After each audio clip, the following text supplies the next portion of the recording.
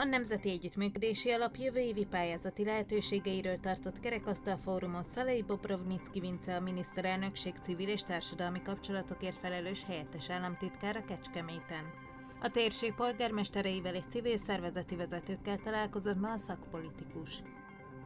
Hamarosan aszfaltozzák az Izsáki utat. A mai napon még előkészítő munkákat végzett a kivitelező hazai építőgép társulat ZRT a forgalomtól elzárt területeken. Az egyes csomópontokon a munkavégzés alatt jelzőörös forgalomirányítás mellett haladt a forgalom. Az ügyészséget is érintő energiamegtakarítás következtében a Kecskeméti járási ügyészség épülete bezárt ideiglenesen, ezért a Kecskeméti törvényszék épületében működik tavaszig. A Neumann János Egyetem a Bács-Kiskun megyei közgyűléssel közösen több programot is szervez a Petőfi Sándor emlékévhez kötődően. A közös program tegnap este indult el az egyetemen egy rendhagyó irodalomórával.